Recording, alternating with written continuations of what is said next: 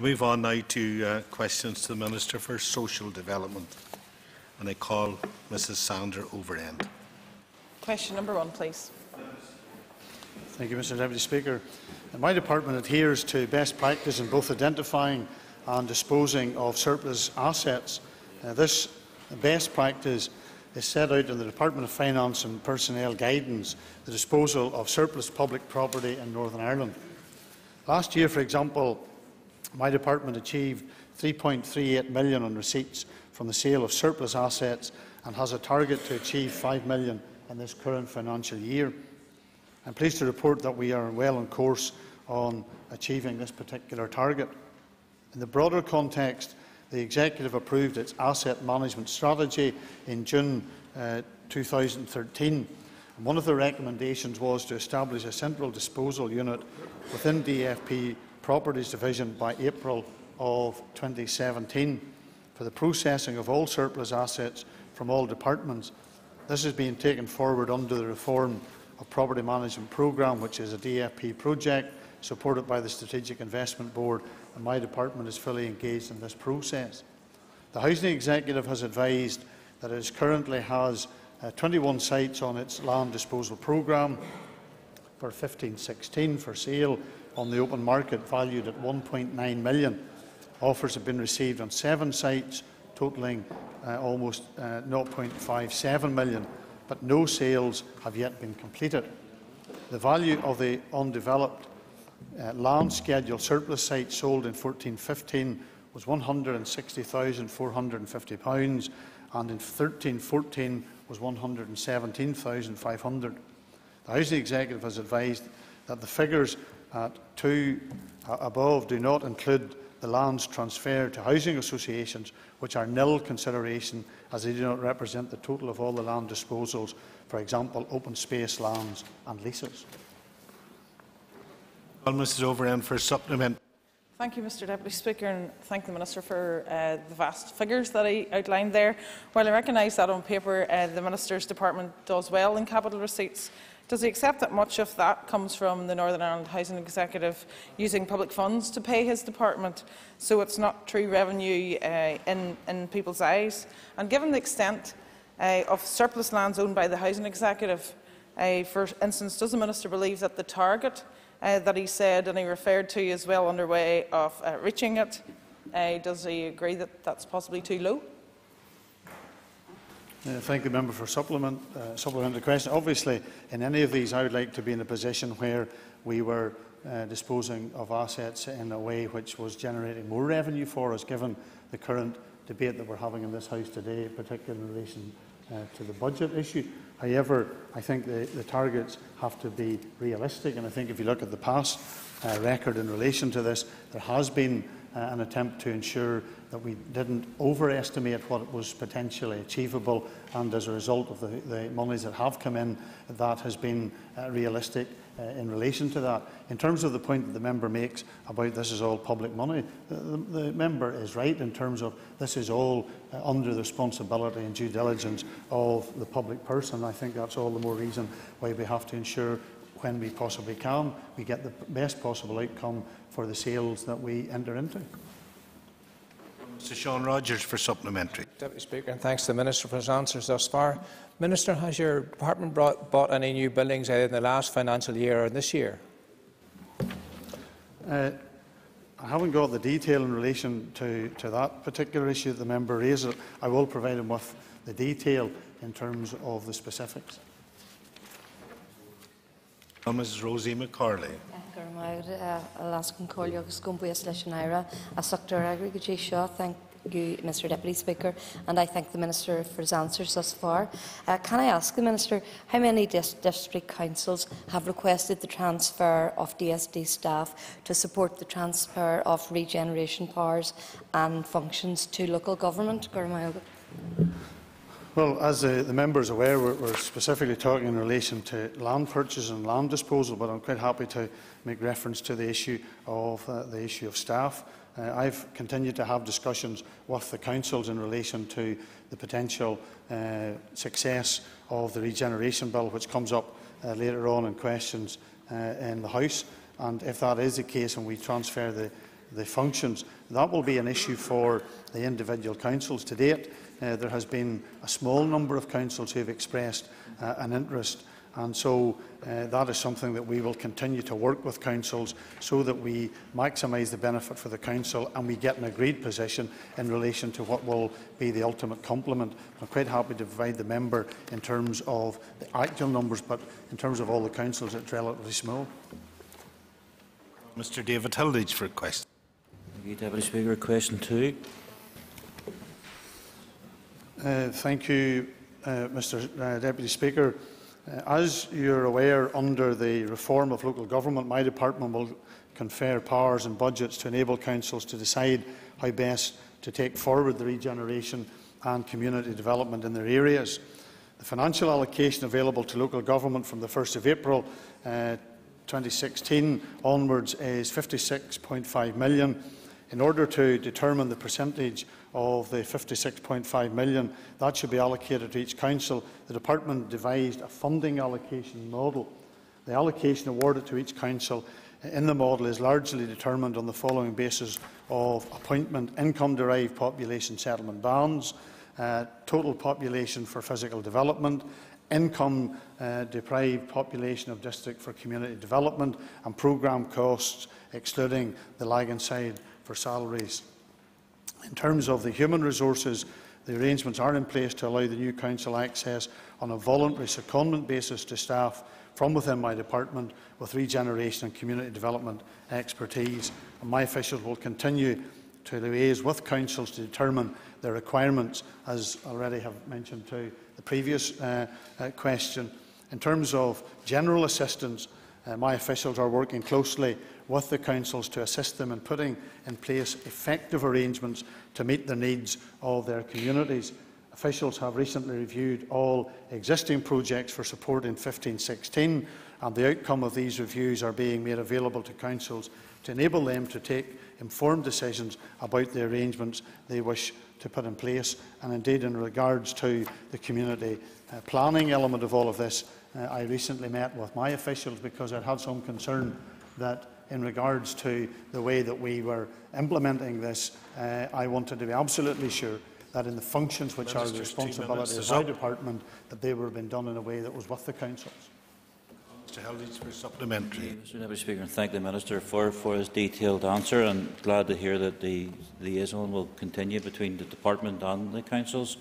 Could he, could he give us a, an overview again just of how that financial allocation to each of the Councils was determined then? Yes, I thank the, the member for his supplementary. And obviously, this was an issue which caused concern and raised questions, and I have endeavoured during the conversations that we've had with councils to explain it to them in as best a way that I possibly can so that they are absolutely sure that we endeavour to all that we, we did to give them a fair allocation across the 11 councils and the development of the methodology for the distribution of funds for urban regeneration and community development was the outworking of the Executive's policy decision to transfer, transfer the functions in the first place. The model is designed to provide the local government with the objectivity-based allocations that take into account both population and deprivation, and DSD can only transfer to the new councils the relevant budgets and the physical assets associated with the delivery. The budget being transferred is mostly that which is being used for the current implementation of the urban uh, policies by the department, and those policies currently applied only to settlements of, as the member will know, 4,500 persons and above. And the definition recommended by the Northern Ireland Statistical Research Agency uh, uh, in their report back in 2005. However, the department recognised that the new councils uh, may want to deliver regeneration programmes in smaller settlements. And for the reasons that proposed distribution for funding is based on the use of population figures down to settlements of 1,000 persons, resulting overall in councils with more rural populations receiving a greater share of the budget than would have been the case if we decided to apply the 4,500 uh, urban cut-off in a very rigid way. And this has resulted in a skewing of the resources from largely urban-based councils to the more rural uh, counterparts in uh, places such as uh, Fermanagh and the West. And I think that that was welcomed by those councils which have felt that in terms of the allocation process, that sometimes it was always the bigger councils that got the allocation and the smaller councils were those that were left out uh, with a lesser amount of money.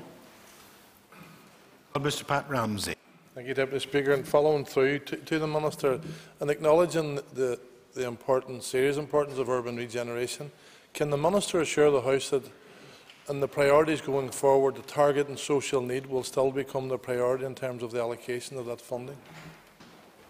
Well, of course, if the, if the bill is successful and the powers are transferred in 16, it will ultimately be for the councils to determine as to how they use that money. And I have, I have said this uh, to councils that I have met. Uh, and, and there is a concern that is now growing amongst uh, some councils across uh, Northern Ireland that members in those authorities may have different priorities. They may have a different focus. And what I'm ensuring to do is that it is entirely the issue for the councils as to how they will uh, use that money, but also to ensure that they take into account the needs of the community that they serve. And if, if we believe that all council uh, is, the, is local, then surely those at the very grassroots uh, of our pol uh, political process in Northern Ireland should be best placed to be able to identify what are the needs in their locality.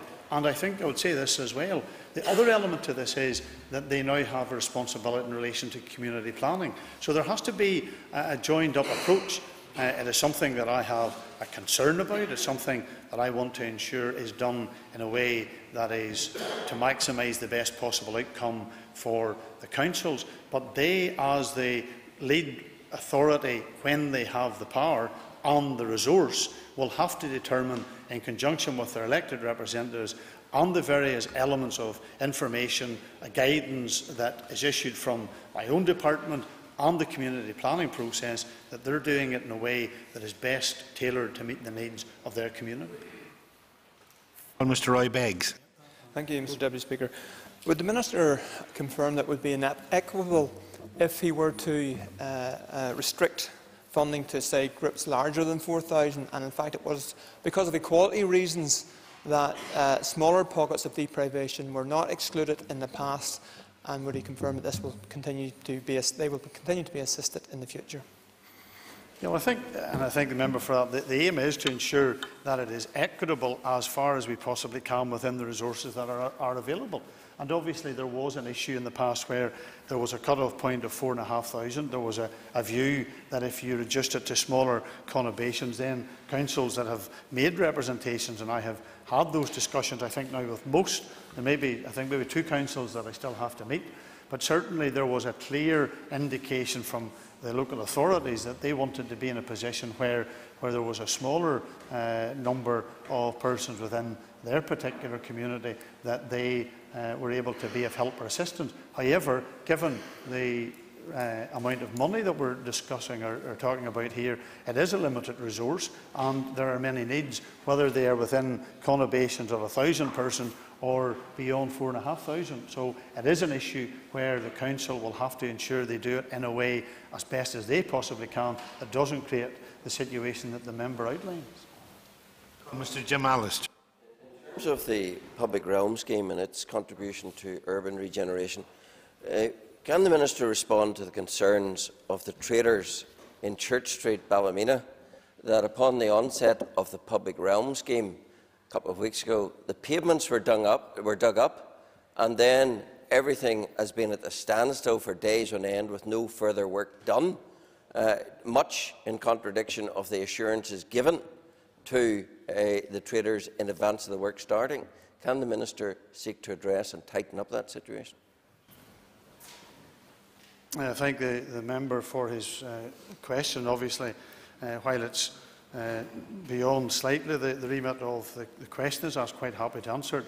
The, the work uh, which is being invested, the money that's being invested in Ballymena is somewhere in the region of 4.6 million pounds, which is very welcome by the traders, very welcome by the town, and I'm sure the member like myself, would have been the first person to have been complaining if we didn't have had an investment in Ballymena as a premier town in Northern Ireland for retail and for uh, many other of the shopping experiences that people enjoy when they come to the town. In terms of the specifics, uh, I have met with the traders, I have met with individual traders. I'm going back again this week uh, to meet with the council in relation to the issue because the council will have responsibility for uh, the uh, management of the works and the, the work on the Ballymena Public Realm Scheme actually commenced on ground on the 18th of May and is anticipated to last for some 80 weeks and to be completed by November of 2016. I take on board the concerns that have been raised and continue to be raised and I'm asking both the council and the contractor uh, to ensure that everything is done to minimise the disruption because an 80-week uh, project of this uh, magnitude will undoubtedly have particular challenges and I think it is important that we try to work with the traders. Uh, I have received correspondence from uh, my colleague, the MP, for the area in relation to the issue of compensation uh, for uh, traders. Uh, there are other requests that have got, come in in regards to specifics, and we're working our way through those uh, so that we do all that we possibly can. I think the other point that I would also make is that we have learned from other uh, public realm schemes where uh, they have been carried out in this way and to avoid some of the, the particular issues, and I trust that that will be the case in relation to Ballymena. Call Lord Morrow for a question. Question number three. Uh, in the four-year period just ended, my department funded registered housing associations to provide over 6,100 new high-quality, uh, energy-efficient social homes in areas of need across Northern Ireland. The programme for government a target set by the Northern Ireland Executive was to deliver 6,000 houses, uh, so the overachievement was a good result for those uh, on the housing waiting list. Plans uh, to deliver at least a further 1,500 more new homes are in the current year. At this point, I want to acknowledge the contribution made by the housing association sector, not least for the £315 million of private finance which was levered in as part fund for the building programme. Uh, and that in itself makes a tremendous addition to the work that we can do every year to help those in housing need. Housing associations build some of the very uh, best housing to be found in Northern Ireland and they provide not only the housing for families but supported housing for some of our most vulnerable citizens. We, uh, we can be rightly proud that our social housing standards are very much at the envy of other jurisdictions and in fact uh, the rest of the United Kingdom when we look in terms of output. Uh, I believe that we are doing uh, much better. Recent figures show that in England, one new social house was being provided for every 60 applicants on the waiting list.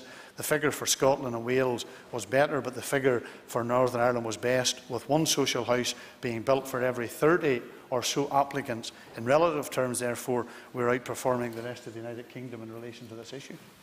Call Lord Morrow for supplement. Well, I thank the Minister for that very comprehensive reply. And uh, I'm sure the Minister, like everyone else in here, recognises that there is a considerable waiting list. Can the Minister tell us today, is he and his department on target uh, with all its housing provision, or is there uh, a miss or a lack here? I think in relation to have the targets for the delivery uh, of social and affordable housing been met, I think the answer is yes, uh, because uh, the total uh, of 10,066 homes have been delivered in Northern Ireland over the current programme for government. As I said, 610, uh, 6,101 of these were social homes and 3,965 were affordable homes. And that's, believe it or not, over 2,000 more homes than was promised. And I think that it's not often that uh, ministers stand in this House and actually are able to say that something which has exceeded a programme for government uh, target and the individual targets for all four years were exceeded each year with 1,410 homes delivered in 11-12, 1,379 in 12-13, almost 1,300 delivered in 13-14 and 2,013 delivered in 14 uh, 15. And I think that does all go well for uh, how we plan in the future. It is a good news story for those, particularly for those people who are now in receipt of good quality homes, and I look forward to ensuring that we continue to do the same in the future. Mrs Dolores Kelly for supplement. Uh, thank you, uh, Deputy Speaker. I, I listened carefully to what the Minister had to say, and no doubt uh, there have been uh, some achievements. But nonetheless, Minister, would you not uh, acknowledge the fact that we are and have been for some time in a housing crisis? And to compare us to GB is to compare one crisis to another. And I wonder, Minister, had you given any further thought in your reform or review of the housing executive whether or not uh, the, uh, the housing executive would be able to uh, put in a submission to, to the European Investment Bank to build houses again? Well, I, I thank the member and also thank her for the work that she does uh, in relation to this issue on the Social Development Committee, and obviously she has a particular interest. I would like to see a situation where the Housing Executive were once again uh, back at the forefront of continuing to build and continuing to provide. However, I think that over the last number of years, we have seen the challenges that have been created, and I think that what I want to ensure is that in, in terms of the housing provision, the one thing that I have seen in the time that I have now been in post is the variety of provision. It cannot all be one size fits all, so it has to be a multiplicity of providers. So that will come, in this case, from uh, whether it's the uh, housing executive in terms of being a good landlord and ensuring that its properties are kept up uh, to the standard that I believe they should. And we have fallen behind in terms of that issue. And I think uh, very soon I will be announcing the outcome of the Stavel uh, Stock Condition Survey, which I think will clearly indicate to us the huge amount of investment that is needed. In terms of housing associations, we have seen the progress that has been made, and I'm having ongoing discussions with housing associations as to how we can, I think, better improve our relationships, and I think they are key uh, and also uh, particular issues, and members have raised this in the House uh, before, particularly around tower blocks, the, the way in which the Housing Executive needs to address those particular issues. Those are all matters that are currently under consideration in a variety of ways, but the focus must remain for myself as a Minister and for the Department that we continue to work with all providers to get the best possible outcome and delivery for the people of Northern Ireland. Mr Michael. Thank you, Deputy Speaker. Uh, can I agree with the Minister that we do provide good quality public housing? Uh, the problem and the issue, of course, is there's simply not enough of it. What effect does he believe the projected 2,000 per year this year being reduced to 1,500, a 25% reduction, what effect is that going to have on the waiting list, particularly for the provision uh, of vitally needed family-sized housing? Well, I think that whenever you get to a situation where you have to cut your cloth according to the amount of money that you have, it will obviously have an impact. And I would like to be in a position where we were exceeding what was the plan, where we were actually doing more than what we intended to do. However, uh, I think, yes, much has been achieved and there is no doubt that there is uh, much more that needs to be done. But in the current financial uh, circumstances that we face, in the uh, situation where we have a reduced overall amount of money that is available, I think that we have to do what we, what the best we possibly can with the amount of money that is available to us. But there is no doubt that that has an impact on uh, communities, has an impact on various locations uh, where there is a greater need or a greater demand. And that's the challenge, I think, for both my department and for everybody, really following on from the comments that I made to the previous uh, member, that of all the, those involved in the provision of housing in Northern Ireland, and let's not forget also, because uh, I attended a, a, meeting just recently with the uh, CBI, and uh, a very useful exchange, I have to say, with a variety of providers from uh, co-ownership through to the bankers also being uh, in, in, that meeting. And it was an, a very open discussion around uh, how we could continue to provide good quality homes in Northern Ireland. And let's not leave out the private sector that continues to make and is showing some recovery in relation to what it provides in Northern Ireland. So it has to be uh, an all-rounded provision and not just solely focusing upon one element, but there's no doubt there are challenges that remain for us in terms of the budget. Ms Anna Lo.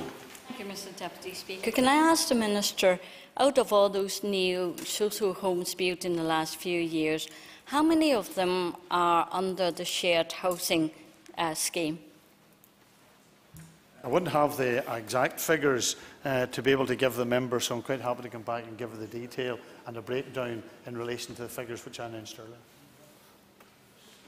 Mr Chris Hazzard for a question. Chris Everett Cahir, Hull. Question number four, please. Uh, thank you, Mr Deputy Speaker. Uh, my department has no authority to control the level of service charges set by the housing associations. However, the department reviews service charges through the inspection regime and by uh, quarterly financial monitoring. The inspection reviews the appropriateness of the arrangements that housing associations have in place to determine the level of service charges and the process for collecting those costs. The monitoring team receives and reviews quarterly financial information relating to the service charge income and cost. My department is currently developing uh, comprehensive proposals for a social housing rent policy, and the proposals will also look at the fairness, consistency and transparency in relation to service charges. Mr Hazzard for supplement. and I welcome uh, the answer and thank the Minister for, for the answer. Uh, I welcome the, in, the, the, report and the process that he speaks of bringing forward. Uh, is there a timeline available for this, uh, when tenants could maybe expect this to kick into action? Cormac? Uh, thank the member for the supplementary. In terms of the uh, getting out for consultation, it would be my intention to go out over the summer in relation to this. And obviously, uh, that always raises the question, has this been done over the summer because people are away on holidays? And, and I can assure the member and I can assure the House, this is an issue that will generate a considerable degree of debate.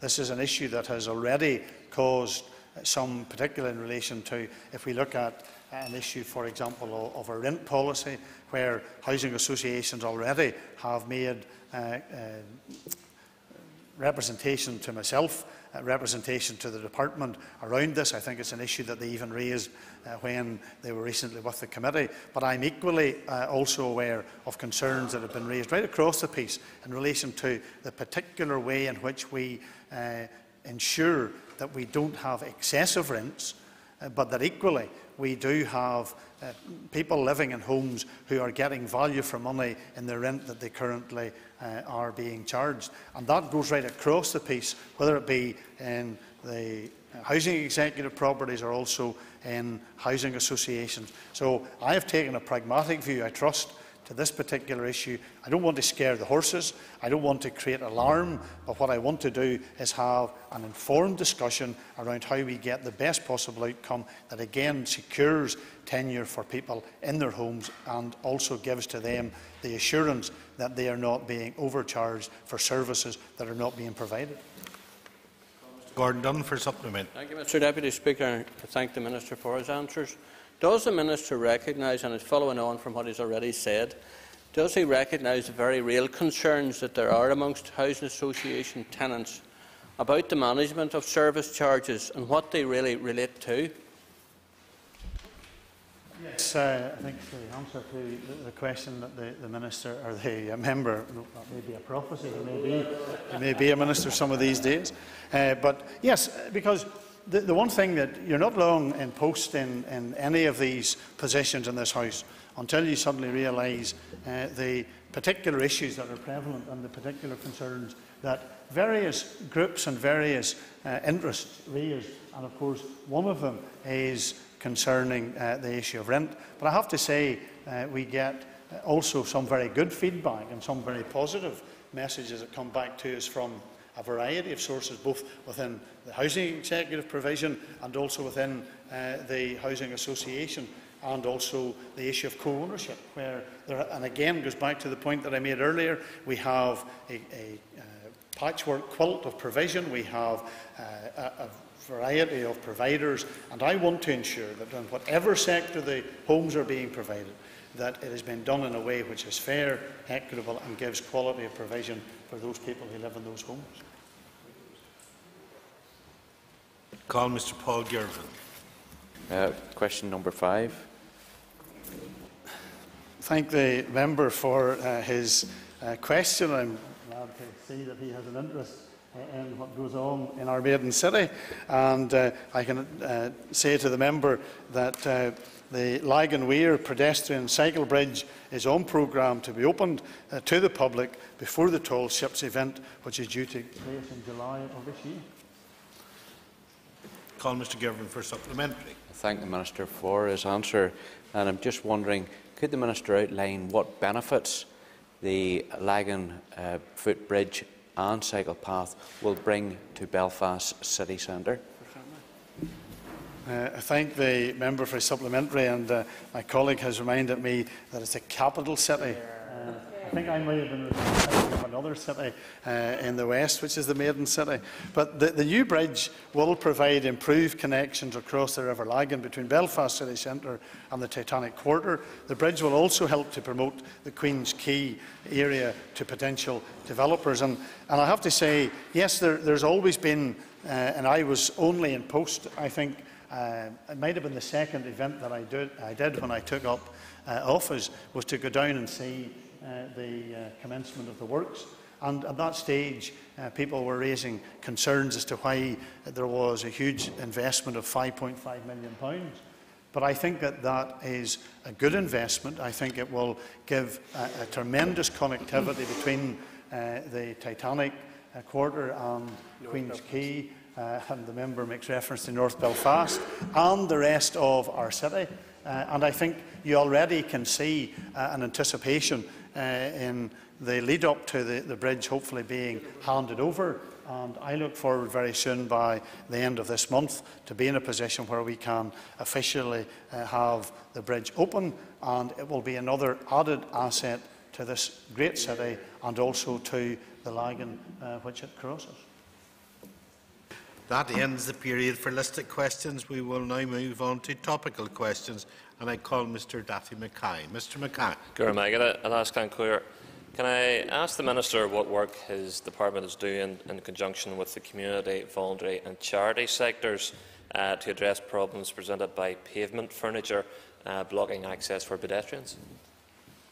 This is always an issue that does raise in terms of the, the issue in regards to uh, public realm schemes. And uh, when uh, public realm schemes are, taken on board, uh, it is always, uh, as far as I am concerned, I trust for those who are involved in the, in the delivery of these schemes, that every uh, concern is being uh, heeded, and whether it is in relation to uh, those who have uh, particular physical disabilities or whether it is some other disability.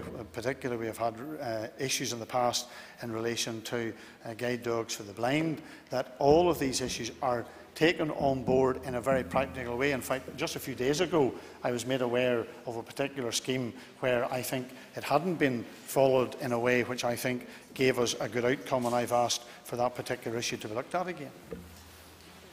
Mr McKay for supplement. Gurmag, Clear, can I thank the Minister for his answer?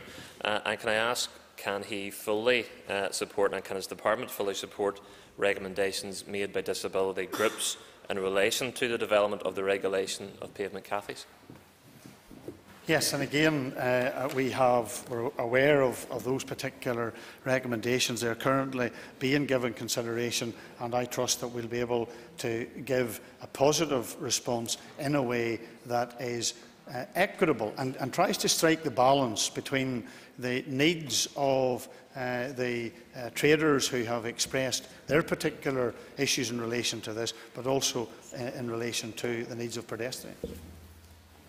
Well, Mr Barry McElduff for a topical question. Can I ask the Minister if he appreciates that independent advice organisations are facing much greater demand for their services at this time than ever before, and yet very many of them have seen their funding remain static effectively for the past 10 years and more?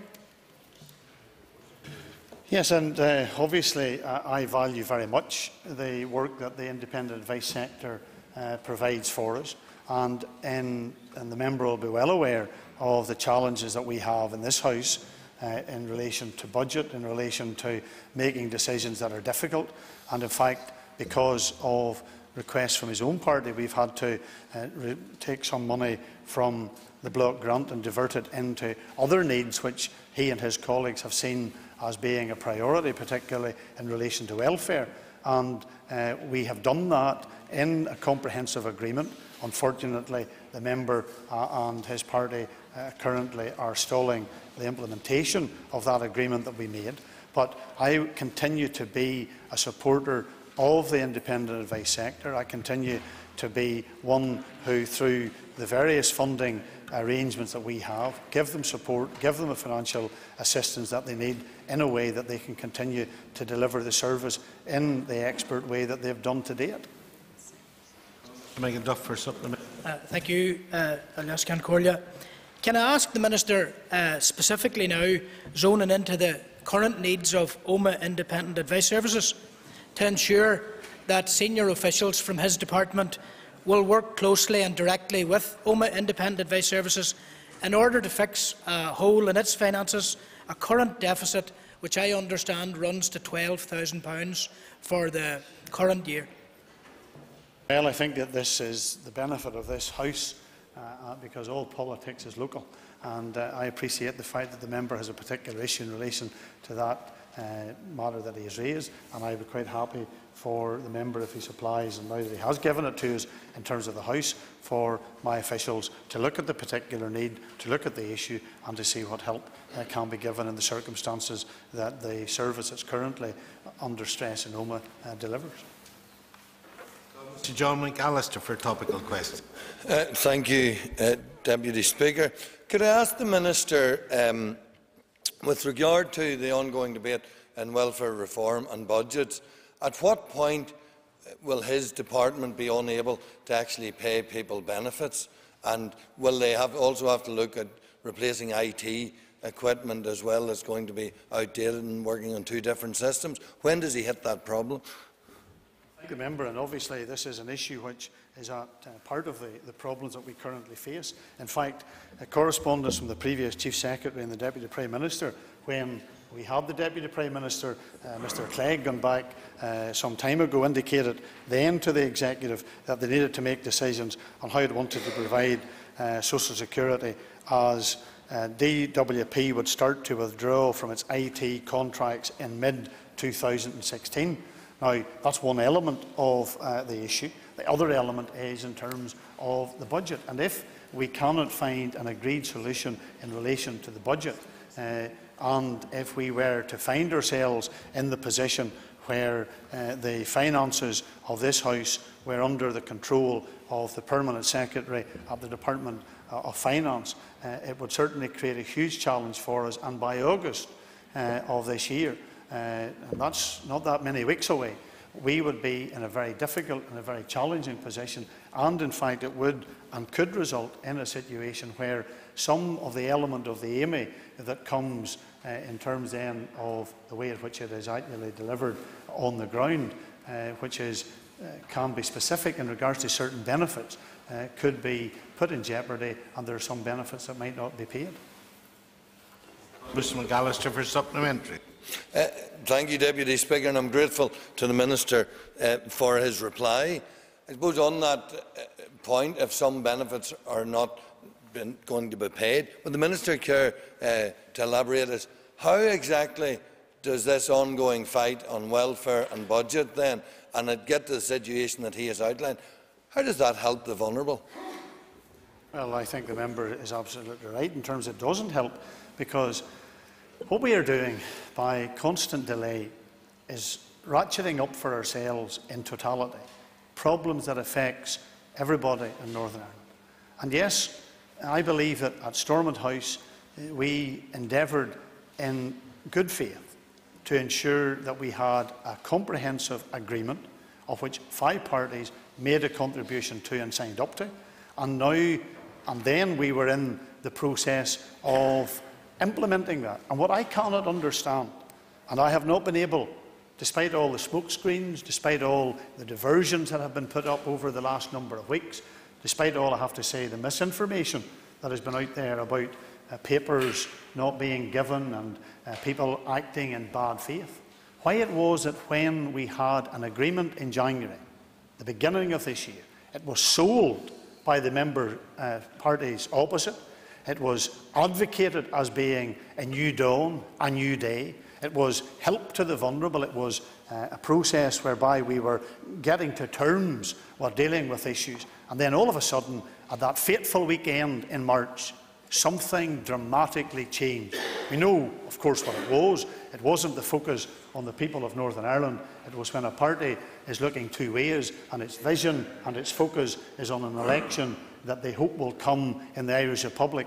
My challenge and my call to the party uh, opposite and to the SDLP, who unfortunately became uh, conspirators on this issue, along with the single Green Party, when single Green Party member, when they signed the petition of concern, is let's implement the agreement that we made. Let's ensure that we don't create any more vulnerable people, and let's deal with the issues that are going to give to the people of Northern Ireland clarity, certainty, and in a way that doesn't create more vulnerability for people who, at this minute in time, I believe are saying, as far as this place is concerned, they've lost all confidence in this House. Call Mr Martin Muller for a topical question.